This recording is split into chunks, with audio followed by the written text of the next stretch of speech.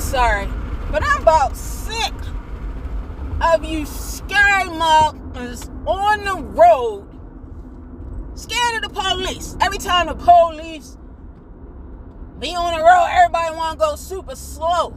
But you know you look suspect in a man. If you don't move your slow ass out the way, even the police mad because you going slow as hell. Move! You scary ass. Y'all need to stop being so fucking scared of the police on the goddamn get where the fuck they going. Niggas don't and want to do five miles below the speed speed limit and shit. Motherfuckers. Get on my goddamn nerves. Move! Shit.